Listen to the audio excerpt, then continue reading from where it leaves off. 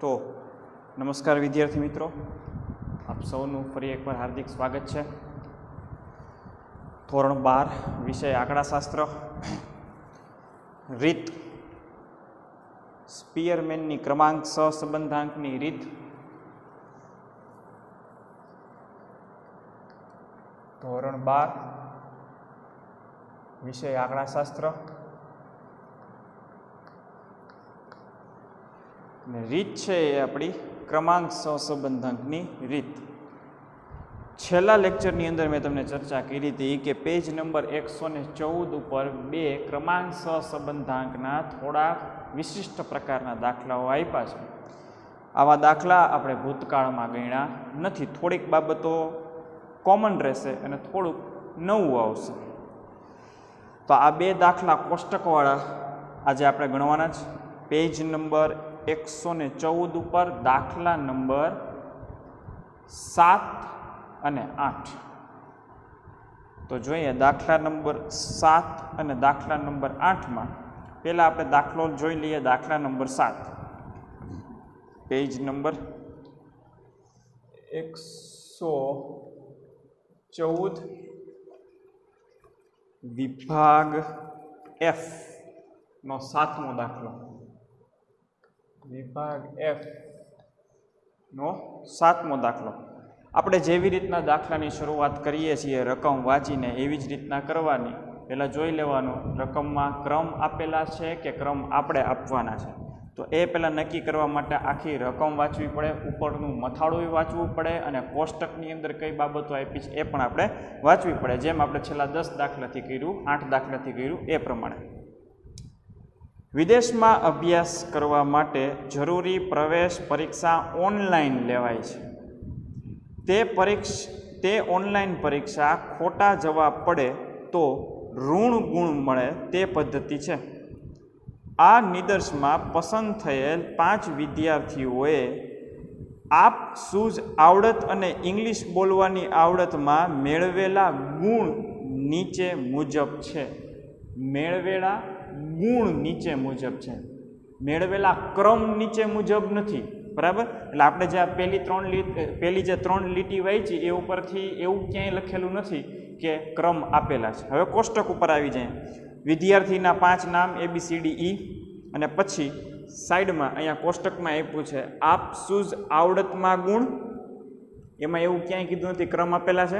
અને ઇંગ્લિશ બોલવાની આવડતમાં ગુણ. એવું કાંઈ કીધેલું નથી કે ક્રમ આપેલા છે. ઇન શોર્ટ ઉપરની ત્રણ લીટી અને કોષ્ટક વાંચતા આપણને એવું ક્યાંય લખેલું આપેલું નથી કે રકમમાં ક્રમ આપેલા છે. એનો અર્થ શું? તો કે ક્રમ આપણે આપવાના છે.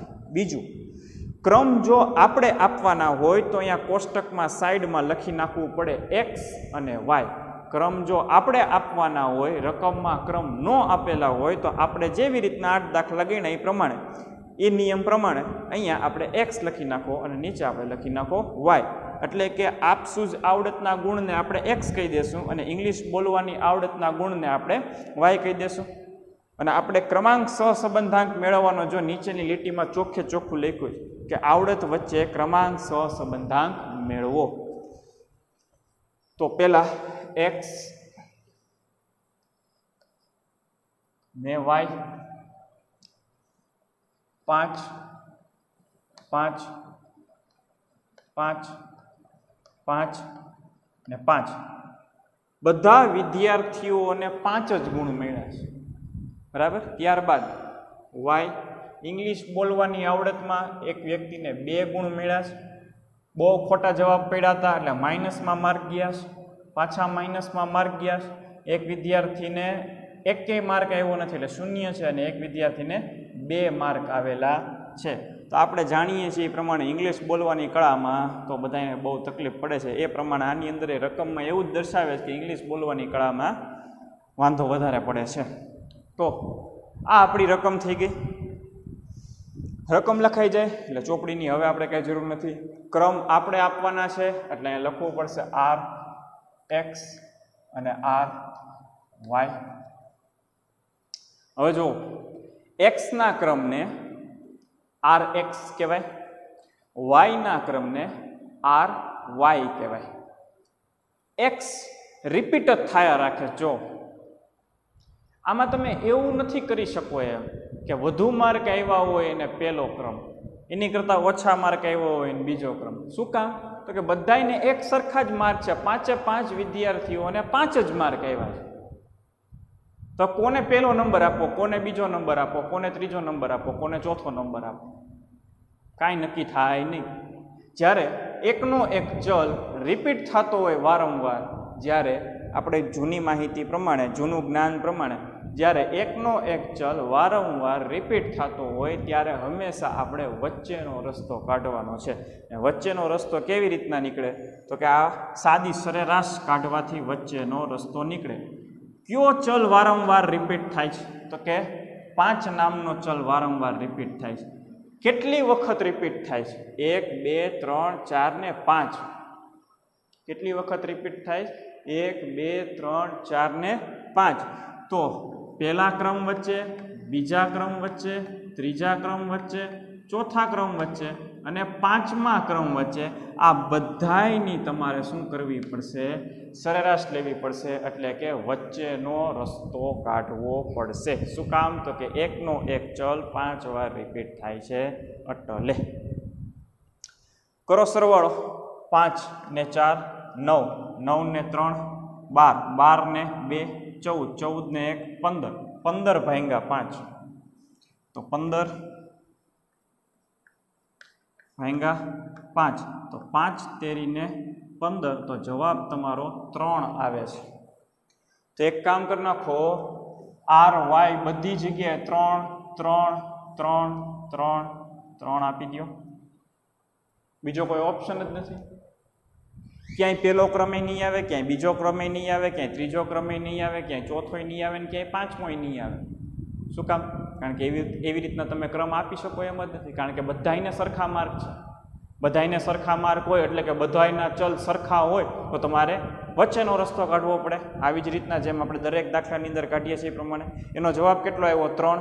તો બધાને ત્રણ ક્રમ આપી દો જો વચ્ચેનો રસ્તો ટુકડો જો હાવ વચ્ચે વચ્ચેનો રસ્તો કાઢી દીધો. તો એક્સના ક્રમ અપાઈ ગયા. વાયના ક્રમ આપી દો વાયના ક્રમ. સૌથી મોટા, સૌથી મોટી કિંમત કહીશ તો કે આ બે. બે તો બે વખત આવે છે. તો આને પહેલો નંબર આપો કે આને પહેલો નંબર આપો? આને પહેલો નંબર આપો કે આને પહેલો નંબર આપો? એ કાંઈ નક્કી થાય નહીં. તો તમારે શું કરવું પડશે? વચ્ચેનો રસ્તો કાઢવો પડશે. કયો ચલ રિપીટ થાય છે? તો કે બગડા નામનો ચલ. અને કયો કયો ક્રમ આપવાનો છે? તો કે આને પહેલો આપો કે બીજો આપો, આને બીજો આપો, કે આને પહેલો આપવો એ નક્કી થતું નથી. તેથી તમારે પહેલા અને બીજા ક્રમનો વચ્ચેનો રસ્તો કાઢવો પડશે. એક વસ્તુ સમજી લ્યો, અહીંયા પાંચ કિંમત હતી છેદમાં પાંચ મૂક્યા. અહીંયા બે કિંમત છે, તો છેદમાં મૂકું છું બે. બેનો સરવાળો કરીએ એટલે ત્રણ, ના છેદમાં બે. એટલે જવાબ કેટલો આવે? તો કે એક પોઈન્ટ પાંચ આવે તો આને તમે એક પોઈન્ટ પાંચ નંબર આપી દો આને તમે એક પોઈન્ટ પાંચ નંબર આપી દો હવે પાછી બાકીની કિંમતોને ક્રમ આપવાના છે. બરાબર? તો પહેલો ક્રમ અપાઈ ગયો, બીજો ક્રમ અપાઈ ગયો. હવે ત્રીજો ક્રમ આપવાનો છે, આની કરતાં નાની કિંમતને. તો કે બે કરતાં નાના માઇનસ બે થાય કે બે કરતાં નાના ઝીરો થાય? તો કે બે કરતાં નાના ઝીરો થાય. તો ત્રણ ક્રમ અહીંયા આપી દો જો આ બેને આપણે એક પોઈન્ટ પાંચ, એક પોઈન્ટ પાંચ આપ્યો. તો શરૂઆત કેવી રીતના કરવાની? તો કે પહેલો ક્રમ અપાઈ ગયો, બીજો ક્રમ અપાઈ ગયો. હવે ત્રીજાનો વારો. તો ત્રીજો ક્રમ આપી દીધો. હવે તો કે આ માઇનસ બે ને માઇનસ બે છે. આને ચોથો આપશું કે આને પાંચમો આપશું? આને પાંચમો આપશું કે આને ચોથો આપશું? એ કાંઈ નક્કી થઈ શકે નહીં. તો પાછી તમારે વચ્ચેનો રસ્તો કાઢવો પડશે. તો વચ્ચેનો રસ્તો કાઢવા માટે માઇનસ બે નામનો ચલ રિપીટ થાય છે. હવે જુઓ. કોની કોની વચ્ચે લડાઈ છે? તો કે પહેલો ક્રમ અપાઈ ગયો, બીજો ક્રમ અપાઈ ગયો, ત્રીજો ક્રમ અપાઈ ગયો. લડાઈ છે ચોથાની ને પાંચમાની. લડાઈ છે કોની? ચોથાની અને પાંચમાની. તો અહીંયા તમારે ચાર અને પાંચનો સરવાળો કરીને ભાંગા બે કરવું પડે એટલે અહીંયા ચાર પોઈન્ટ પાંચ જવાબ આવે. તો આને તમે ચાર પોઈન્ટ પાંચ ક્રમ આપી દો આને તમે ચાર પોઈન્ટ પાંચ ક્રમ આપી દો આવી રીતના આપણે ક્રમ આપવાના થયા. હવે તો સાદું સિમ્પલ થઈ ગયું. ડી ગોતી લ્યો ડીનો સ્ક્વેર કરી નાખો. તો ડી. ડી બરાબર R X minus R Y. R X minus R Y. તો ત્રણમાંથી દોઢ જાય. દોઢ વધે. ત્રણ માઇનસ સાડા ચાર. ત્રણ માઇનસ ચાર પોઈન્ટ પાંચ. તો માઇનસ એક પોઈન્ટ પાંચ વધે. ત્રણ માઇનસ ચાર પોઈન્ટ પાંચ, તો માઇનસ એક પોઈન્ટ પાંચ વધે.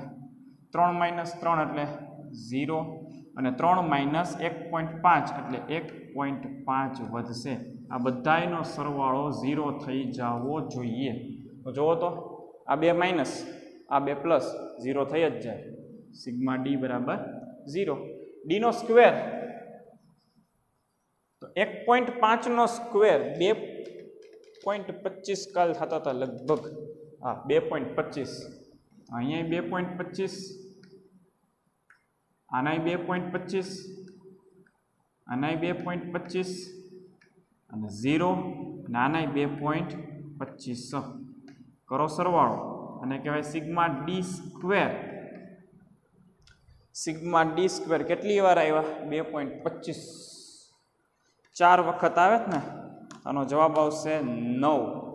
સરવાળો કરશું તો કેટલો આવશે? નવ આવશે. હવે, તો કે ઓલું પુનરાવર્તિત થતા ચલ માટેનું સીએફનું કોષ્ટક બનાવવું પડશે. તો અહીંયા લખી નાખો. સી એફની ગણતરી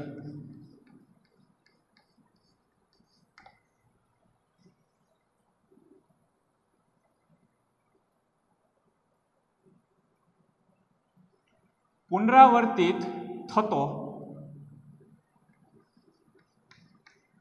ચલ. આ વાય નથી. મેં હું લખ્યું? પુનરાવર્તિત થતો. ચલ.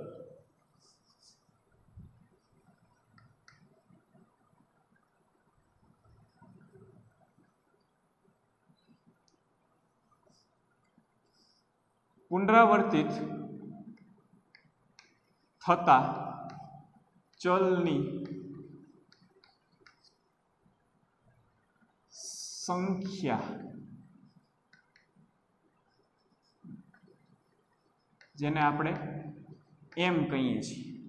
અને ત્યારબાદ આપણું સીએફનું સૂત્ર. એમનો ઘન માઇનસ એમના છેદમાં બાર. તો પુનરાવર્તિત થતા ચલ. ક્યાં ક્યાં ચલ પુનરાવર્તિત થયા? તો કે પાંચ રિપીટ થયો બે રિપીટ થયો અને માઇનસ બે રિપીટ થયો. તો પાંચ, બે અને માઇનસ બે. બરાબર? પાંચ છે કેટલી વખત રિપીટ થયો? તો કે પાંચ છે એ પાંચ વખત રિપીટ થયો. છે તો અહીંયા પાંચ લખવું પડશે. બે છે એ કેટલી વખત રિપીટ થયો? તો કે બે છે એ બે વખત રિપીટ થયો. છે તો બેની સામે પાછું બે. માઇનસ બે કેટલી વખત રિપીટ થયા? તો કે માઇનસ બે બે વખત રિપીટ થયા? તો અહીંયા બે. આ તમારો એમ બને, આય તમારો એમ બને અને આય તમારો એમ બને. તો જ્યાં એમ ભાળો, ત્યાં પાંચની ત્રણ ઘાત માઇનસ પાંચના છેદમાં બાર. પહેલા ચલ માટેનો સીએફ ત્યારબાદ અહીંયા આવી જાઓ. તો બેનો સ્ક્વેર માઇનસ બેના છેદમાં બાર. આ બીજા ચલ માટેનો સીએફ પછી અહીંયા આવી જાઓ. બેનો સ્ક્વેર માઇનસ બેના છેદમાં બાર. અને આ બધી ગણતરી કરી અને સરવાળો કરી નાખો. જો પાંચનો ઘન, તો પાંચનો ઘન થાય છે એકસો ને પચીસ. પાંચનો ઘન એકસો ને પચીસ. એમાંથી પાંચ બાદ કરો. માઇનસ પાંચ અને એનો બાર વડે ભાંગાકાર કરો. તો અહીંયા જવાબ આવે છે દસ. અહીંયા આવી જાઓ. બેનો ઘન છે. ભૂલથી સ્ક્વેર લખાઈ ગયું છે. બેનો ઘન આઠ. આઠમાંથી બે જાય એટલે છ અને છ ભાંગા બાર એટલે જવાબ આવશે તમારો ઝીરો પોઈન્ટ પાંચ. એવી જ રીતના અહીંયા પણ તમારો જવાબ આવશે ઝીરો પોઈન્ટ પાંચ. અને આ બધાયનો હવે આપણે સરવાળો કરવાનો. કોનો? આનો સરવાળો, આનો અને આનો સરવાળો. તો અહીંયા સી એફ બરાબર દસ ને એક અગિયાર મળે છે. જોઈ લો કોષ્ટક આપણે છેલ્લે ત્રણ લેક્ચરથી જેવી રીતના કોષ્ટક બનાવીએ છીએ, એવી જ રીતનું કોષ્ટક બનાવ્યું છે. એમાં કાંઈ નવીન નથી.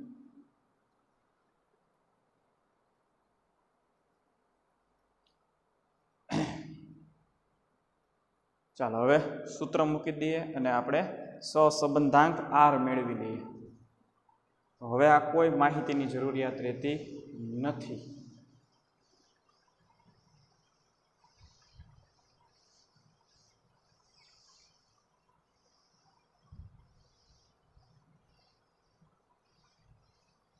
સિગ્મા ડી સ્ક્વેર બરાબર નવ હતા. તો આર બરાબર વન માઇનસ છ ગુણ્યા સિગ્મા ડી સ્ક્વેર પ્લસ સીએફના છેદમાં N N square minus one. તો વન માઇનસ છ ગુણ્યા સિગ્મા ડી સ્ક્વેર નવ પ્લસ સીએફ અગિયારના છેદમાં એન કેટલા હતા? એન હતા આપણા પાંચ. તો પાંચ, પાંચનો સ્ક્વેર માઇનસ એક. એકના એક, માઇનસના માઇનસ, છના છ, નવને અગિયાર. વીસના છેદમાં પાંચના પાંચ. એમને પાંચનો સ્ક્વેર પચીસ, પચીસમાંથી એક જાય એટલે અહીંયા ચોવીસ જવાબ આવશે. બેનો ગુણાકાર કરીને ત્યારબાદ ભાંગાકાર કરી નાખવાનો રહેશે. તો છ દુ બાર, એકસો વીસ ને પાંચ ગુણ્યા ચોવીસ, એકસો ને વીસ. એકસો વીસ ભાગ્યા એકસો વીસ કરો એટલે તમને એક જવાબ જ મળે. તો તમારો વન માઇનસ વન કરશો એટલે તમારે આર બરાબર કેટલો મળશે? તો કે ઝીરો મળશે. પહેલો એવો દાખલો થયો કે જેમાં તમારો આર સહસંબંધાંક ઝીરો આવ્યો છે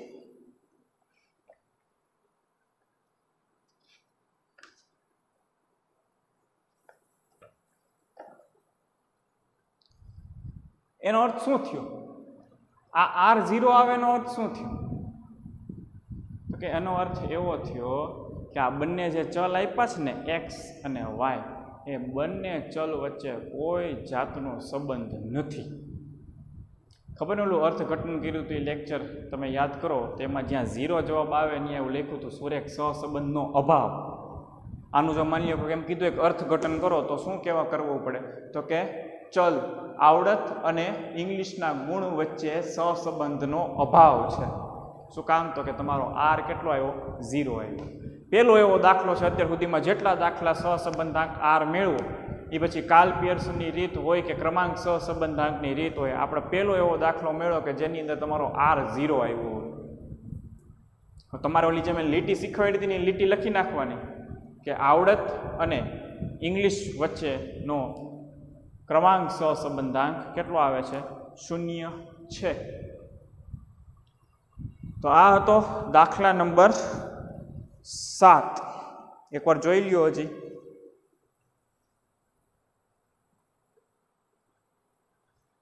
ત્યારબાદ આપણે દાખલા નંબર આઠ જોવાનો છે.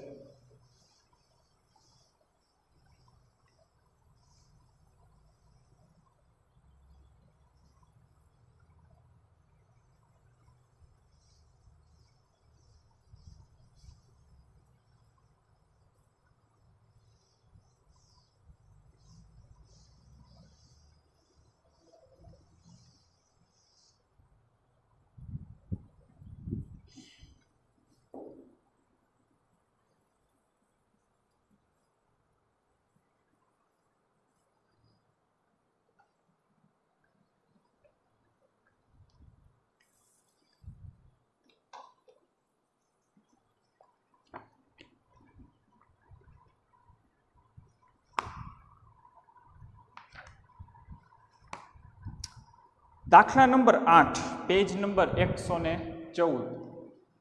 ખાલી રકમ ગોઠવવા પૂરતી જ તકલીફ. કારણ કે એબીસીડી આપી છે રકમ આપણે જેવી રીતના વાંચીએ છીએ, એવી જ રીતના વાંચી લઈએ. એક નૃત્યની સ્પર્ધામાં બે નૃત્યના ગુરુ. છ નૃત્યકારને એ બી સી ડી અને એફ ને તેમના નૃત્ય પરથી નીચે મુજબ ક્રમ આપે છે. એમ કહે છે કે આ કોષ્ટકની અંદર ક્રમ આપી દીધેલા છે. ક્રમ રકમમાં આપી દીધેલા છે. જોઈ લોકોએ ચોખ્ખું કીધું છે કે નીચે મુજબ ક્રમ આપે છે. પણ રકમ જો વિશિષ્ટ પ્રકારની છે, આવી રકમ કોઈ દી આવી જ નથી. તો પહેલાં રકમે લખાવું બોર્ડ ઉપર અને ત્યારબાદ આની ગણતરી કેવી રીતના કરવી એ પણ તમને સમજાવું. કારણ કે આ અગત્યનું છે. આવું કોઈ દિવસ આવ્યું નથી. તો રકમ એવી છે કે તમને ક્રમ આપ્યા છે. એક, બે, ત્રણ, ચાર, પાંચ ને છ. ત્યારબાદ પહેલા ગુરુ દ્વારા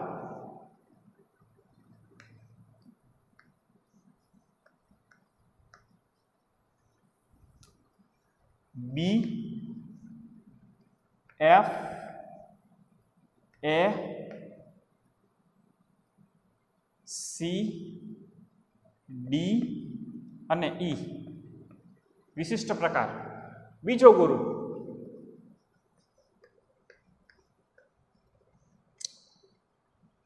એફ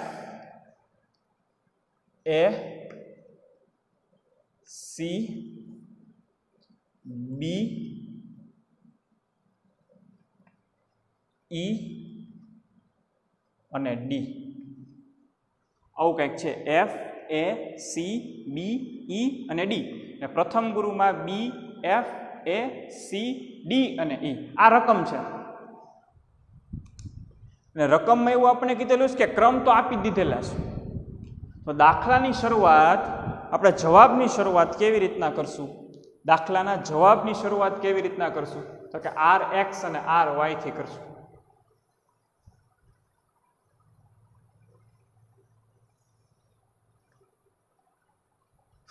તો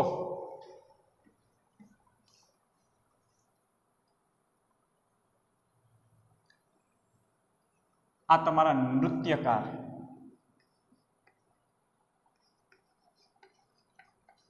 તો જો કેવી રીતના જવાબ બને છે?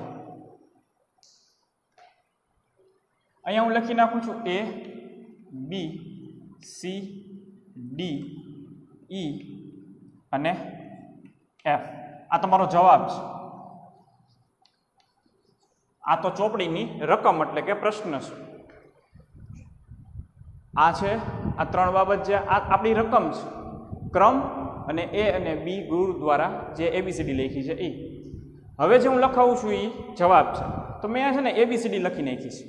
એબીસીડી ઈ એફ રકમમાં એમ કીધું છે કે ક્રમ આપી દીધેલા છે એટલે હું અહીંયા લખું, જો આર એક્સ અને આર વાય શું કામ આર એક્સ અને આર વાય લખું છું? તો કે ચોપડીની અંદર એમ કહી દીધું છે કે ક્રમ આપી દીધેલા છે. જો ક્રમ આપી દીધેલા હોય તો અહીંયા આર એક્સ અને આર વાય જ લખાય. હવે જો રકમ ઉપર ધ્યાન આપજો. અહીંયા એ છે ને, એ એ, બરાબર?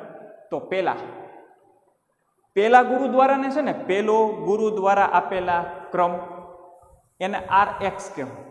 અને બીજા ગુરુ દ્વારા જે ક્રમ આપેલા છે ને, એને આપણે આર વાય કહેશું. પહેલા ગુરુ દ્વારા આપેલ ક્રમને શું કહેશું? આર એક્સ અને બીજા ગુરુ દ્વારા આપેલ ક્રમને શું કહેશું? આર વાય હવે જો પહેલા અહીંયા ધ્યાન આપજો આ રકમમાં, આટલામાં. એ ની સામે કેટલા લખાશ તગડો લખ્યો કે નહીં? જોવો જી. એ ની સામે હું લખ્યું છું? તગડો લખ્યો છે ને? બરાબર? તો આપણે આ એ ની સામે તગડો લખી નાખવાનો. આવે છે? જો તો બી બી ની સામે હું લખ્યું છે? એકડો લખ્યો છે કે નહીં? તો અહીંયા બીની સામે આપણે હું લખી નાખવાનો? એકડો. પછી સીની સામે ચોગડો લખ્યો છે કે નહીં? તો આ રહ્યો આ સી અને એની સામે હું લખી નાખવાનો? ચોગડો ત્યારબાદ ડીની સામે જો અહીંયા પાંચડો લખ્યો છે, તો આપણે અહીંયા છે ને ડીની સામે છે ને પાંચડો લખી નાખવાનો. ત્યારબાદ ઈ ઈની સામે અહીંયા જો છગડો લખ્યો છે, તો આપણે અહીંયા ઈની સામે છે ને છગડો લખી નાખવાનો. અને ત્યારબાદ એફ એફની સામે જો બગડો લખ્યો છે. એફની સામે શું લખ્યું છે? બગડો લખ્યો. તો આપણે એફની સામે જો બગડો લખી નાખો જોઈ લો કેટલા ચલ છે? એક, બે, ત્રણ, ચાર, પાંચ ને છ એન છે તમારા. તો જો ક્રમ એક, બે, ત્રણ, ચાર, પાંચ ને છ અપાઈ ગયા. સાદું સિમ્પલ સમજાણું? આ આપણી રકમ છે અને રકમ ઉપરથી આપણે આવી રીતના જવાબ બનાવવાનો છે. તમે જો અહીંયા નૃત્યકાર A B C D E F પહેલાં લખી નાખ્યું અને એની સામે કેટલા આપ્યા છે? ત્રણ. તો એની સામે ત્રણ લખી નાખ્યા. બીની સામે કેટલા આપ્યા છે? તો કે એક આપ્યો, તો બીની સામે એક લખી નાખ્યો. સીની સામે કેટલા આપ્યા? તો કે ચાર. તો અહીંયા ચાર લખી નાખ્યા. ડીની સામે કેટલા આપ્યા છે? તો કે પાંચ. તો અહીંયા પાંચ. ઈની સામે છ. તો છ. અને એફની સામે કેટલા આપ્યા? બે. તો બે. એવી જ રીતના હવે અહીંયા ધ્યાન આપો. એની સામે કેટલા આપ્યા છે? બે. તો આપણે બે લખી નાખીએ. પછી બીની સામે ચાર આપ્યા છે. તો ચાર લખી નાખો. પછી સીની સામે ત્રણ આપ્યા છે. તો અહીંયા ત્રણ લખી નાખો. ડીની સામે છ આપ્યા છે. તો છ લખી નાખો અહીંયા. પછી ઈ, ઈની સામે કેટલા આપ્યા છે? પાંચ આપ્યા છે? અહીંયા પાંચ લખી નાખો. અને છેલ્લે, એફની સામે કેટલા આપ્યા છે? જુઓ તો એફની સામે એફની સામે. એકડો આપ્યો છે તો અહીંયા એકડો લખી નાખો. ક્રમ અપાઈ ગયા બસ, આ જ કામ હતું. આ જ વિશિષ્ટ પ્રકાર. બસ, ખાલી ક્રમ કેવી રીતના આપવું અને આ કોષ્ટકને કેવી રીતના જોઈ અને ક્રમ આપવું એ જ ખાલી વિશિષ્ટ પ્રકાર હતો. બસ, પૂરું થઈ ગયું. હવે તો તમને તમારી પાસે આર એક્સ અને આર વાય આવી ગયા છે. તમે ડી એ ગોતી શકશો અને ડીનો સ્ક્વેર એ ગોતી શકશો. આમાં કોઈ પણ ચલ એકેય વખત રિપીટ થતો નથી, એટલે તમારે સીએફ ગોતવાની એ કોઈ પણ જાતની ગણતરી કરવાની જરૂર નથી રહેતી. તો જોઈ લઈએ. ડી બરાબર R X minus R Y ત્રણ માઇનસ બે પ્લસ એક. ચાર, એક માઇનસ ચાર. માઇનસ ત્રણ. ચાર માઇનસ એક સોરી ચાર માઇનસ ત્રણ એટલે એક, પાંચ માઇનસ છ, માઇનસ એક, છ માઇનસ પાંચ, પ્લસ એક, ને બે માઇનસ એક એટલે પ્લસ એક સરવાળો ઝીરો થઈ જવો જોઈએ. ત્રણ ને ચાર, ચારેય માઇનસમાં, તો એક, બે, ત્રણ, ચાર પ્લસમાં જવાબ આવશે ઝીરો. ત્યારબાદ ડીનો સ્ક્વેર એકનો સ્ક્વેર એક, ત્રણનો સ્ક્વેર નવ, એકનો સ્ક્વેર એક એક એક એક. તો સરવાળો સિગ્મા ડી સ્ક્વેર. નવ ને દસ, અગિયાર, બાર, તેર, ચૌદ. સિગ્મા ડી સ્ક્વેર કેટલા? ચૌદ. પૂરું થઈ ગયું. હવે તો કે સૂત્ર. સૂત્ર આ બાજુ મૂકી દઈએ.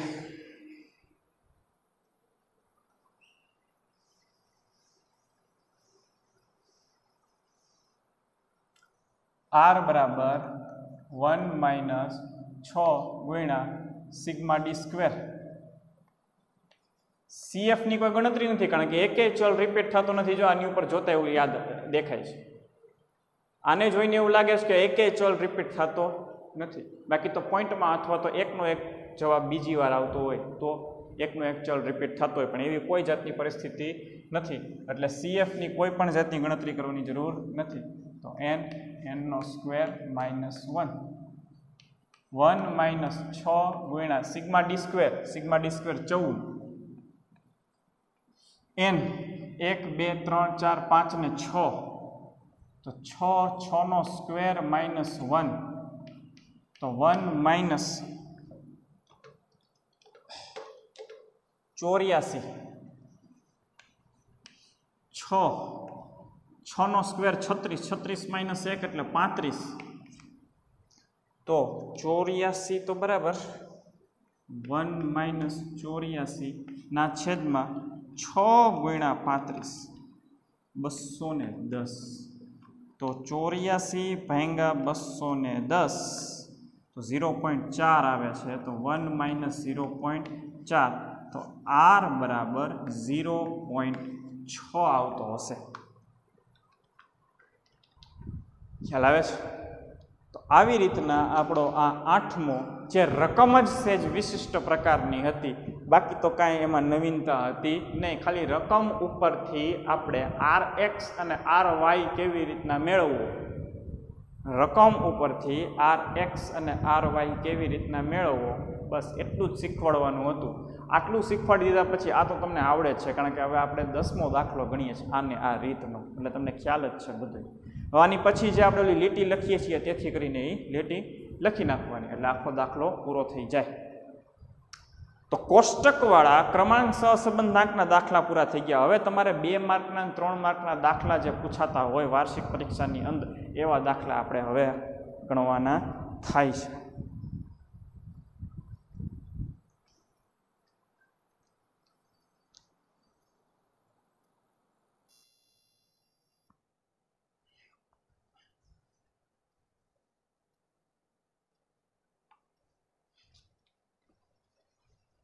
તો ત્યારબાદ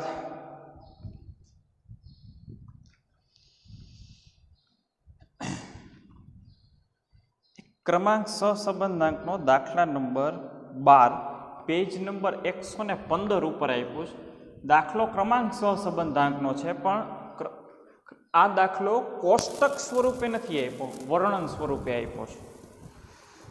તો જોઈ લઈએ, એ પણ દાખલો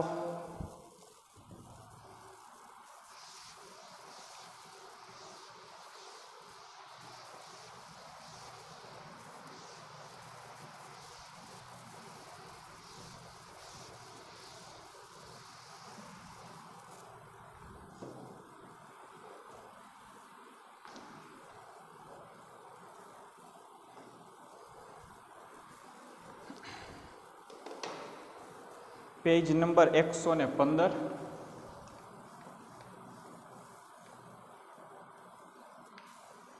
વિભાગ એફનો દાખલા નંબર બાર.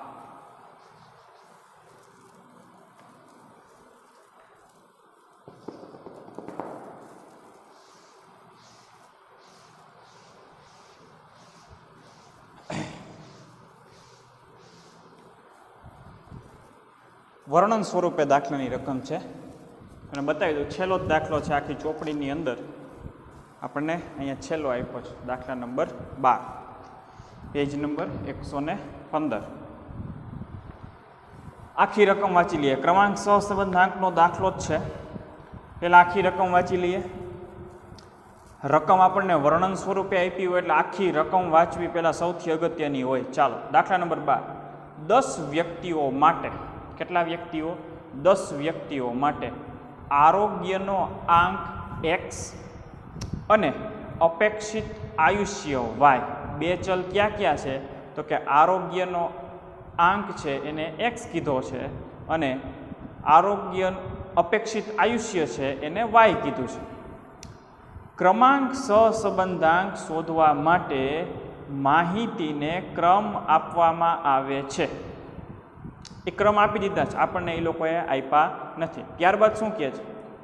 અને બધા ક્રમોના તફાવતોના વર્ગોનો સરવાળો બેતાલીસ પોઈન્ટ પાંચ છે.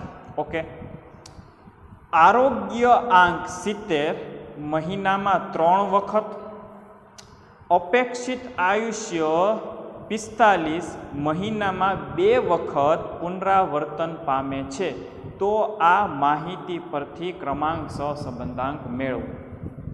આખી રકમ વાંચી લીધી. હવે તમારા પાઠ્ય પુસ્તકની અંદર હું તમને જે નોંધ કરાવું એ પેન્સિલથી નોંધ કરી નાખજો. હું પાછી રકમ વાંચું છું ને તમને નોંધે કરાવતો જાઉં છું. દસ વ્યક્તિઓ માટે આરોગ્યનો આંક. કેટલા વ્યક્તિઓ છે? દસ વ્યક્તિઓ છે. તો આપણા સૂત્રમાં તમને ખ્યાલ છે એ પ્રમાણે એન આવે. તો દસની નીચે અંડરલાઇન કરી અને ઉપર લખી નાખો એન ત્યારબાદ ત્રીજી લીટીની અંદર એ લોકોએ કીધું છે, બધા ક્રમોના તફાવતોનો વર્ગનો સરવાળો. બધા ક્રમના તફાવતના વર્ગોનો સરવાળો બેતાલીસ પોઈન્ટ પાંચ.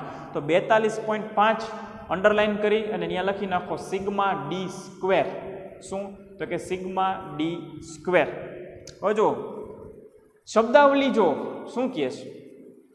કે તફાવતોના.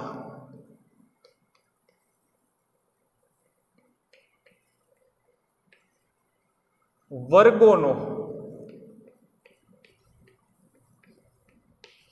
સરવાળો. કેટલો આપ્યો છે આપણને? બેતાલીસ પોઈન્ટ પાંચ. તફાવત. તફાવત કોને કહેવાય? તો કે તફાવત આને કહેવાય? ડી બરાબર R X minus R Y આને કહેવાય તફાવત. આ તફાવત.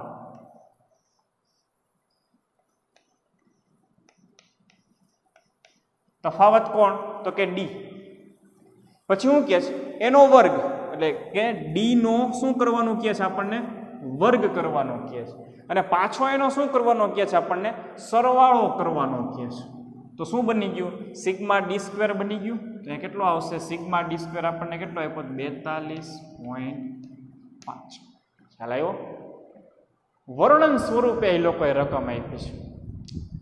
તફાવતોના તફાવત એટલે કોણ? તો કે ડી જેને ઇંગ્લિશમાં ડિફરન્સ કહેવાય. અને ગુજરાતીમાં જેને તફાવત કહેવાય. ના વર્ગો, વર્ગ એટલે સ્ક્વેર નો પાછો સરવાળો. તો બની જાય શું? સિગ્મા ડી સ્ક્વેર બેતાલીસ પોઈન્ટ પાંચ. ત્યારબાદ આપણને એન કેટલો આપ્યો છે? એન તો કે દસ વ્યક્તિની વાત કરી છે એટલે એન આપણો બને છે દસ. ત્યારબાદ એક અગત્યની માહિતી આપી શું કીધું છે ખબર? ત્રીજી લીટીના અંતમાં કે સિત્તેર નામનો ચલ છે ને એ ત્રણ વખત રિપીટ થાય છે. જો એમ લખ્યું, સિત્તેર નામનો ચલ, ત્રણ વખત અને પિસ્તાલીસ નામનો ચલ છે ને, એ બે વખત પુનરાવર્તિત થાય છે.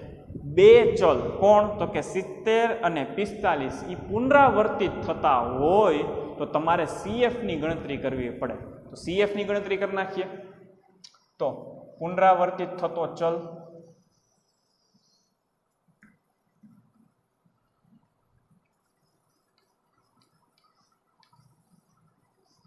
પુનરાવર્તિત થતો ચલ ત્યારબાદ પુનરાવર્તિત થતા ચલની સંખ્યા જેને આપણે એમ કહી દઈએ છીએ. અને છેલ્લે અંતમાં શું? તો કે ભાઈ એમ નો ઘન માઇનસ એમના છેદમાં બાર. બે ચલ ક્યાં ક્યાં? તો કે સિત્તેર અને પિસ્તાલીસ. સિત્તેર છે એ ત્રણ વખત રિપીટ થાય છે. તો અહીંયા એમ કેટલો બનશે? ત્રણ. ને પિસ્તાલીસ છે એ બે વખત રિપીટ થાય છે. તો બે. તો પ્રથમ ગણતરી માટે એમ કેટલો બનશે? તો કે ત્રણ. નો ઘન માઇનસ ત્રણ ના છેદમાં બાર.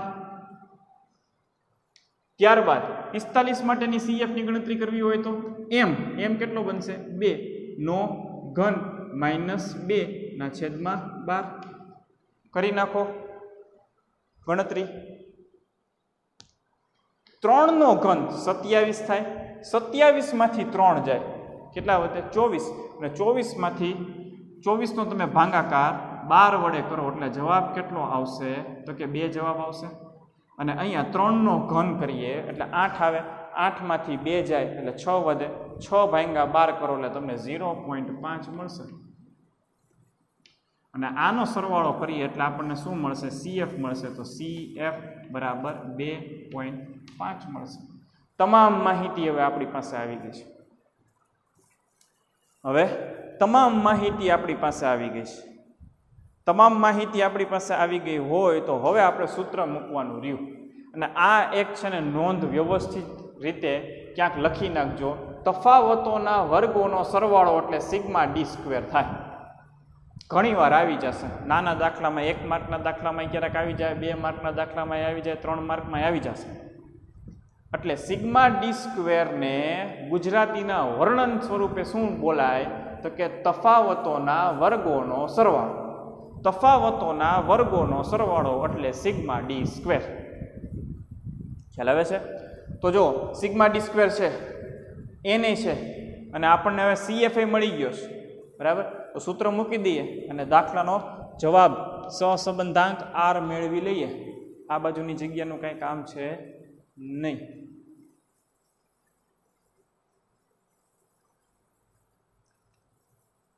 તો આર બરાબર વન માઇનસ છ ગુણ્યા sigma D square plus C F ના છેદમાં N N square minus one. વનના one માઇનસના minus છગડાનો છગડો. સિગ્મા ડી સ્ક્વેર બેતાલીસ પોઈન્ટ પાંચ. બેતાલીસ પોઈન્ટ પાંચ. પ્લસના પ્લસ સીએફ બે પોઈન્ટ પાંચ. ના છેદમાં. એન દસ આપ્યા છે. કારણ કે દસ વ્યક્તિ છે એટલે. દસનો square minus one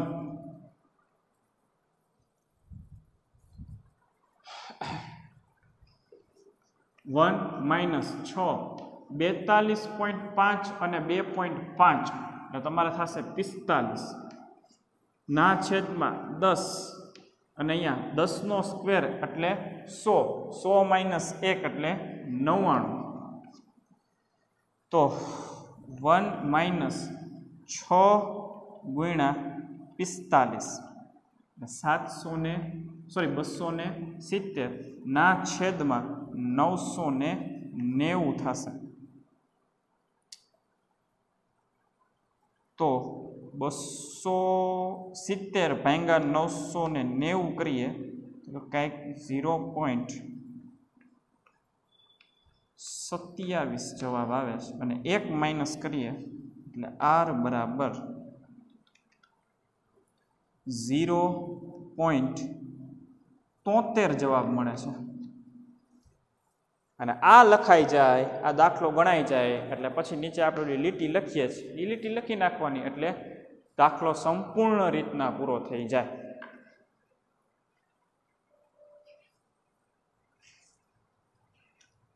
કાંઈ હતું નહીં દાખલાની અંદર ખાલી ને ખાલી રકમ આપણને જે આપી હતી એ વર્ણન સ્વરૂપે આપી હતી. અને વર્ણન સ્વરૂપનો દાખલો આપણે ગણ્યો. હજી હવે એક નાના બે ત્રણ દાખલા છે, એ પણ જોઈ લઈએ ટૂંકમાં.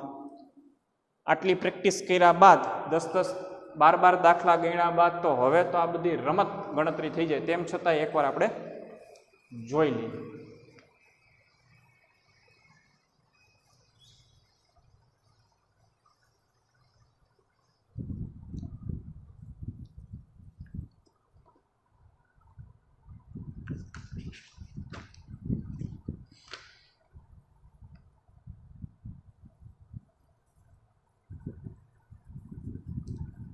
જો પેજ નંબર એકસો ને અગિયાર.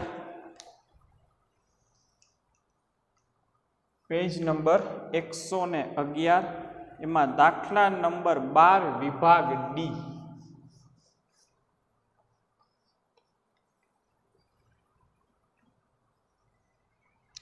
દાખલા નંબર બાર. વિભાગ ડી દાખલા નંબર બાર પેજ નંબર એકસો ને અગિયાર. નાનો દાખલો, સાદો અને સિમ્પલ. એક નૃત્ય સ્પર્ધામાં આઠ સ્પર્ધકોને બે નિર્ણાયકોએ આપેલ ક્રમ પરથી નીચે પરની માહિતી મેળવી છે. શું લખી છે માહિતી? જોવો તો એ લોકોએ. R, X, minus, R, Y. આવું લખ્યું છે. આગળ એણે શું લખ્યું છે? સિગ્મા લખ્યું છે. અને એની ઉપર શું કર્યું છે એણે? સ્ક્વેર કર્યો છે. અને આપણને કેટલું આપ્યું છે? એકસો ને છવ્વીસ. તો પહેલાં એક વસ્તુ સમજી લ્યો. R X minus R Y એટલે શું? તો કે R X minus R Y એટલે ડી. ખ્યાલ આવે આર એક્સ અને આર વાય એટલે શું? તો કે ડી. કારણ કે આપણે ગોતીએ ડી બરાબર R X minus R Y એનો આપણને સરવાળો કીધો છે. તો આ સરવાળો. અને એનો પાછો આપણને સ્ક્વેર આપ્યો તો આ સ્ક્વેર તો આ શું બની ગયું? તો કે સિગ્મા ડી સ્ક્વેર એકસો છવ્વીસ બની ગયા. તો આનો અર્થ શું થયો? તો કે આ બંને સાંકેતિક વસ્તુ એક સરખી જ છે. Sigma R X minus R Y sigma R X minus R Y લખો કે સિગ્મા ડી સ્ક્વેર લખો. બે સરખું જ થયું.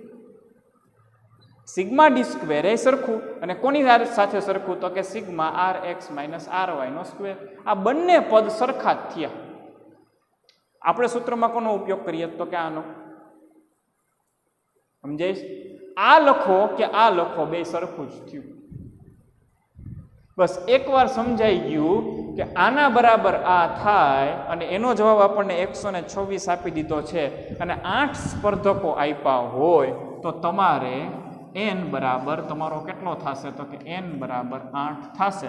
હવે કોઈ પણ ચલ પુનરાવર્તિત થાય છે કે નહીં એની કોઈ પણ જાતની માહિતી રકમની અંદર આપી નથી. અને આપણે નીચે એમ કીધું કે ક્રમાંક સો સંબંધાંક મેળવો. એટલે તમારે સૂત્ર મૂકી દેવાનું કયું તો કે one minus six into sigma D square ના છેદમાં N N square minus one. સૂત્ર મૂકીને જવાબ મેળવી લો. બસ પૂરું થયું. ખાલી એટલી જ ખબર પડવી જોઈએ કે sigma R X minus R વાયનો square બરાબર સિગ્મા ડી સ્ક્વેર થાય. તો સિગ્મા ડી સ્ક્વેર કેટલો એવો એકસો છવ્વીસ. એકસો છવ્વીસ મૂકી દો આઠ એન. તો બે જગ્યાએ આઠ મૂકીને દાખલાનો જવાબ મેળવી લો. પૂરું થઈ એવો જ દાખલો જો તમને એવા જ એવો જ તો નહીં, પણ એની કરતાં થોડોક જો અલગ આપ્યો છે.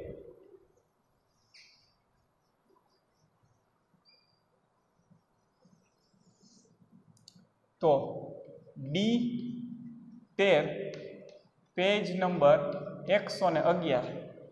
નીચે જ આપ્યો છે. શું કહે છે? નોકરી માટે આવેલા પાંચ ઉમેદવારોને ઇન્ટરવ્યૂને આધારે બે નિષ્ણાંતોએ આપેલા ક્રમ છે. તો જો કાઉન્સની અંદર ટોટલ આપણને પાંચ કાઉન્સ આપ્યા છે અને બધાય કાઉન્સની અંદર બે કિંમત આપી છે. પહેલી કિંમત હોય ને એ એક્સ હોય અને બીજી કિંમત હોય એ વાય હોય. હવે જો તેણે ક્રમ આપેલા છે કે ક્રમ આપણે આપવાના છે? તો જેણે લખ્યું છે, બે નિષ્ણાંતોએ આપેલા ક્રમ. એટલે ક્રમ એ લોકોએ આપી દીધેલા છે. ક્રમ આપી દીધેલા હોય તો અહીંયા હું લખી નાખવાનું? આર, એક્સ અને આર, વાય. તો જો, કાઉન્સ પહેલી જે કિંમત હોય એ આર એક્સ હોય. બીજી કિંમત હોય એ આર વાય હોય. તો ત્રણ અને પાંચ આવી રીતના ગોઠવી નાખવાના. બીજા કાઉન્સની અંદર પહેલી કિંમત આર એક્સ, બીજી કિંમત આર વાય. પછી ત્રીજા કાઉન્સમાં પહેલી કિંમત, બીજી કિંમત. ચોથા કાઉન્સમાં પહેલી કિંમત, બીજી કિંમત. અને પાંચમા કાઉન્સની અંદર પહેલી કિંમત, બીજી કિંમત. આના પછી ડી ગોતી લેવાનો અને ત્યારબાદ ડી સ્ક્વેર ગોતી લેવાનો. અને એનો સરવાળો કરી નાખવાનો, સિગ્મા ડી સ્ક્વેર જે આવે ને પછી આપણા આ સૂત્રની અંદર કિંમત મૂકી દેવાની. દાખલો થઈ જાય પૂરો. સરળ સરળ દાખલા. એક માર્ક, બે માર્કમાં પૂછાય એવા દાખલા છે. અને હવે આપણે જેટલા મોટા દાખલા ગણી લીધા, ત્યારબાદ તો આપણને હવે આવા દાખલા આવડી જ જાય એવા છે. સમજાય છે? તો આ હતું. હજી એક દાખલો છે. ખૂબ જ સરળ. તમે આર એક્સ અને આર વાય સમજી ગયા એટલે આગળની ગણતરી હવે આવડી જ ગઈ હોય.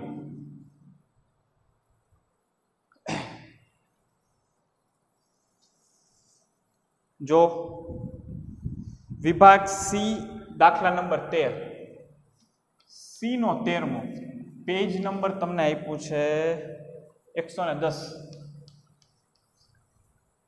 રકમ જુઓ શું કે દસ અવલોકનની જોડ. દસ અવલોકન એટલે તમારો એન બરાબર દસ.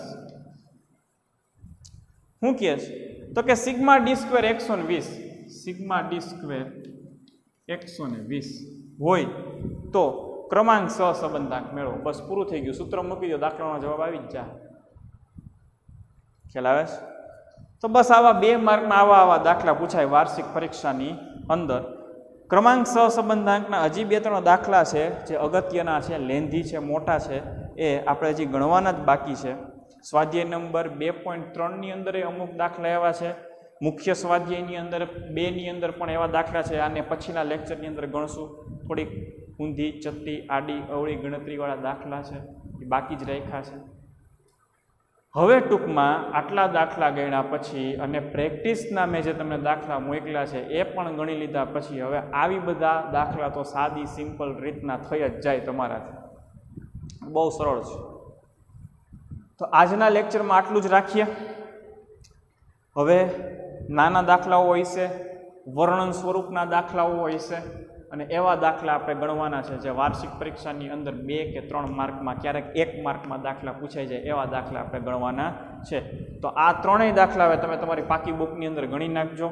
આમાં હવે કાંઈ વિશિષ્ટ પ્રકારની માહિતી દેવાની કંઈ જરૂરિયાત નથી. તમે સમજી જ ગયા ખાલી ઈશારો જ આપવાનો હતો. અને પછીના લેક્ચરની અંદર પાછા ક્રમાંક સહસંબંધાંકના વર્ણનવાળા દાખલા ગણીએ. ત્યાં સુધી આભાર.